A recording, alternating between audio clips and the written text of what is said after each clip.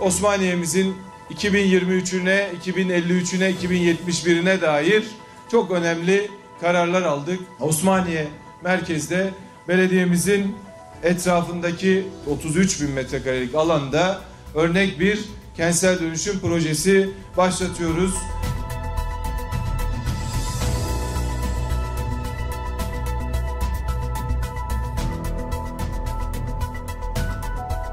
Bakanlığımız bünyesinde toplu kontenjansı mülkiyetinde bulunan alanda rezerv sanayi sitesi inşaatları yapacağız. Şehrin içinde sıkışmış bu alanı şehrin çeperinde hem esnafımıza daha hizmet verecek hem de vatandaşımıza daha hizmet verecek bir alana taşımak için rezerv sanayi sitesi inşaatlarına bu yıl sonu itibariyle inşallah başlayacağız. Belediyemizin hemen karşısında yer alan jandarmamıza ait 1600 metrekarelik alanı belediyemize tahsis ettik ve burayı da şehre yakışacak bir meydan projesi yapmak üzere projelerimizi başlattık. İnşallah meydanımızda hayırlı olsun.